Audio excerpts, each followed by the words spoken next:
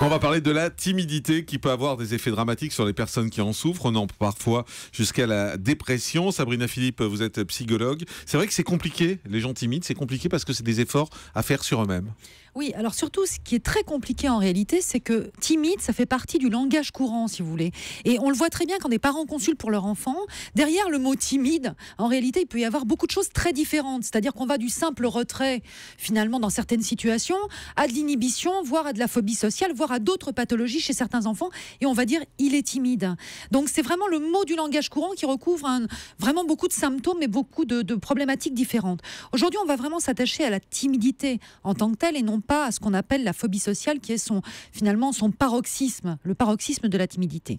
Alors, il faut savoir que la timidité, en, réalité, c'est très courant et ça touche grosso modo un Français sur deux, si vous voulez. Ah Donc, euh, bah oui, c'est très courant parce que ça va s'exprimer dans certaines situations et notamment des situations qui ne sont pas familières. Alors c'est quoi une situation qui n'est pas familière? Ça va être une prise de parole en public et euh, sauf pour des, personnes comme vous, Jean-Marc, qui fait dont c'est le métier, la prise de parole en public, tout le monde n'en a pas forcément, mais il y a un moment peut-être euh, dans votre entreprise, on va vous demander justement de faire un discours, de prendre la parole devant d'autres lors d'un comité de direction. Euh, donc c'est la prise de parole en public, c'est tout ce qui vous met en lumière. Donc c'est se montrer, c'est danser, notamment lors d'une soirée ou lors d'un événement particulier, des examens pour les jeunes. Donc, euh, dans des moments où on va vous juger. Et puis, la rencontre amoureuse aussi, bien sûr. C'est-à-dire qu'il y a beaucoup de, personnes qui vont avoir une certaine, ce qu'on appelle la timidité amoureuse, parce qu'ils ne vont pas oser séduire, pas oser aller au-delà vers la personne euh, justement qui leur plaît. Mais on sait d'où vient la timidité? C'est quelque chose de, de naturel finalement ou c'est dû à l'éducation? Alors, on a tous finalement quelque part une espèce de timidité naturelle, mais ça dépend comment elle va s'exprimer si elle va être invalidante ou pas. C'est-à-dire qu'on n'est pas tous, et bien heureusement, on n'est pas à l'aise dans toutes les situations. Si c'était le cas, on, là, on est dans une pathologie. C'est-à-dire s'il n'y a pas des moments où vous vous dites, tiens, je ressens du stress, j'ai le trac, euh, là, voilà, ça, ça, ça me met en stress, c'est pas normal, j'ai envie de vous dire. Donc on a tous des moments de timidité comme ça, mais pour certaines personnes, malheureusement, ça va s'étendre. Donc ça va les empêcher bah, justement d'être à l'aise dans, des, situations où elles devraient finalement profiter du moment qui s'offre à elles. Alors d'où ça vient, puisque vous me posiez la question, d'où ça vient? Ça vient souvent de l'enfance, en fait, la timidité. Pourquoi? Soit parce que vous avez finalement évolué dans un milieu ultra protégé. On vous a tellement protégé que finalement le monde extérieur peut être perçu comme angoissant, comme euh, euh, voilà un petit peu difficile. Donc le regard des autres va être perçu comme difficile. Soit parce qu'on vous a dévalorisé aussi. Alors c'est pas forcément le milieu familial qui vous dévalorise. Les, jeunes qui sont euh, les enfants et les jeunes qui sont victimes à l'école justement, on va pas même, pas dire de harcèlement, mais qui ont une petite différence. Vous savez, c'est simplement le garçon qui est roux, c'est la fille qui est, comme ça, qui est un peu petite par rapport à celle de sa classe. Tous ceux qui ont une différence vont être amenés justement, finalement, à être exposés à des moqueries parfois, à des, à des commentaires sur eux. Et ça peut justement développer cette timidité parce qu'ils préfèrent rester en retrait.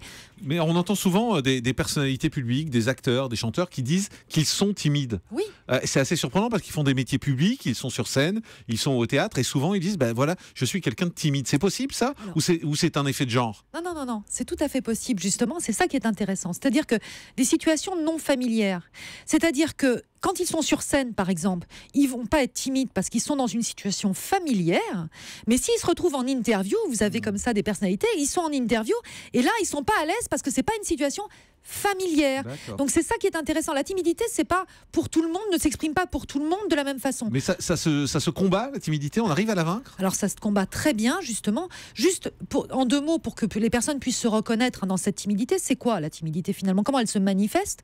Ça va être un mal, vous êtes mal à l'aise psychologiquement, c'est c'est vous savez la boule à l'estomac, vous n'êtes pas très euh, très à l'aise, vous sentez que vous n'allez pas y arriver parce que c'est ça l'idée hein, dans la hmm. timidité, c'est je vais pas y arriver, euh, je vais je vais je vais me rétamer. C'est ça le, maître mot de la timidité. Évidemment, souvent il y a des manifestations physiques, vous commencez à avoir des un peu des sueurs, euh, vous n'êtes pas très à l'aise physiquement aussi, c'est du, stress, tout simplement. C'est du stress. C'est du stress qui va se manifester, mais à un moment on va vous dire bah vas-y danse sur la piste, vas-y prends la parole, c'est à toi de, de parler. Donc et justement le timide, alors ça c'est tout le problème, il va être dans, dans l'évitement. C'est-à-dire qu'il se dit à l'avance, oulala, là là, moi je vais pas y aller. Si on peut ne pas me faire parler en public, je vais pas parler. Si on peut, si je peux ne pas danser, je vais pas danser. Et cet évitement, évitement va renforcer bien sûr, cette timidité. Donc la timidité se nourrit d'elle-même, c'est ça. Docteur Martine Pérez. Oui, c'est vrai que les enfants sont en général timides et c'est pas très étonnant. Il y a un apprentissage aussi de la relation à l'autre, de la relation sociale. Moi, il y a ce qui me frappe aussi dans les écoles en France, c'est qu'on n'apprend jamais aux enfants à parler en public. Vous faites un exposé une fois par mois, et puis sinon, le reste du temps, quand vous êtes amené, comme un certain nombre d'entre nous, à parler en public, eh bien, il faut vous lancer dans le bain. Il n'y a pas d'apprentissage de la parole publique qui, à l'école qui permettrait de dépasser ce blocage, mmh. cette manière de se mettre en avant. Je ne sais pas ce que vous en pensez, Sabrina. Bah, je suis entièrement d'accord avec vous parce que justement, c'est ce que je vais expliquer là, c'est qu'il y a des, façons de se sortir de cette timidité, mais c'est souvent en forgeant qu'on devient forgeron. C'est-à-dire que plus vous allez être confronté à des expériences où finalement vous êtes dans situation inconfortable, vous sortez de votre zone de confort, bah, plus ça va être facile pour vous. Alors juste quand même un petit rappel, c'est que chez l'adolescent, la timidité est de mise. C'est-à-dire que ce n'est pas un signe euh, particulier, différent. Ça fait partie de l'adolescence que d'être timide parce que c'est un moment de la vie, on n'a pas trop envie de se montrer, on se construit à l'intérieur et on est plutôt sur la réserve, donc plutôt timide. Donc les parents ne s'inquiètent pas. les ados, c'est timide de toute façon. Comment se soigne? Comment on, arrive en tout cas à vaincre petit à petit cette timidité? Alors ce qui est très important, c'est d'évaluer le degré de cette timidité. Donc, c'est-à-dire quelle place ça prend dans votre vie professionnelle, dans votre vie personnelle. Euh, moi, pour ça, je vous conseille de faire une liste. C'est-à-dire faites une liste de tous les moments, finalement, où vous êtes mal à l'aise, où vous ressentez que c'est de la timidité. Si la liste s'allonge, si vous voyez que vraiment ça vous empêche finalement mmh. bah, d'évoluer dans votre travail, d'évoluer dans votre vie amoureuse parce que vous êtes célibataire, vous n'osez pas séduire, d'évoluer à tous les niveaux, là, moi, j'ai envie de vous dire, vous êtes aux frontières de la timidité peut-être et de la phobie sociale, donc allez consulter. Hein. si la liste est vraiment trop longue, et c'est vraiment un petit exercice on facile va consulter, On va dire qu'on est timide et on va nous faire quoi? Alors, on va vous expliquer. Non, Bonjour, je suis timide. Ah bah oui, merci, au revoir. Non, non, non, non. C'est 200 euros. Non, non. Alors déjà, c'est pas 200 euros. Déjà, pour commencer, j'en marque pas d'idée euh, préconçue.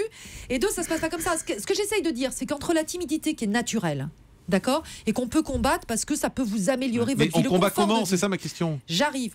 Bah allez-y, parce qu'après, moi j'ai piscine. Hein. mais non, mais c'est important de dire, si vous voulez, quand, quand on n'est plus dans l'ordre de la timidité, il faut consulter. Alors comment ça se combat justement? Essayez de visualiser de façon positive les situations auxquelles vous allez être confronté. Je prends un exemple. Vous avez un mariage. Hmm.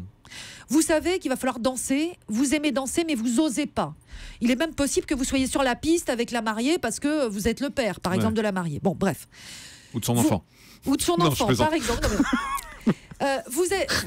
Mais n'importe quoi. Hein, franchement. heureusement que je suis pas timide, hein, parce que sinon, euh, ça fait bien longtemps que je serais sous la table. Bon. Oh bah, ça me fait penser à la, phrase si quelqu'un s'oppose à ce mariage, qui se manifeste, et là, il faut pas être timide, effectivement. Donc, si vous devez danser, vous allez prendre quelques minutes, visualiser la situation. C'est très important de préparer mentalement et de préparer à tous les niveaux. Déjà, mettez-vous dans des vêtements où vous êtes à l'aise. Par exemple, quand vous devez prendre la parole en public, n'allez pas vous attifer de vêtements dans lesquels vous ne sentez pas bien. Donc, c'est important de le préparer en amont, de visualiser le moment où vous savez que vous aurez de la timidité en disant ça va bien se passer. Vous visualisez exactement toutes les étapes, petit à petit, comme dans un film. Vous déroulez le film dans votre tête du moment et ce moment se termine bien. Et ça, ça aide énormément les personnes à passer outre, si vous voulez, une prise de parole en public, comme je disais, ou un moment particulier. Et surtout aussi, essayer de relativiser. C'est-à-dire que même si vous vous plantez, il n'y a pas mort d'homme, comme on dit. C'est-à-dire que même si vous bafouillez, ça nous arrive ici tous les jours de bafouiller à la radio, bah, bah on bafouille, c'est pas grave. Euh, même si vous n'arrivez pas au, bout de, vos explications comme vous le souhaitiez, c'est pas grave. Donc voilà, ça c'est très important.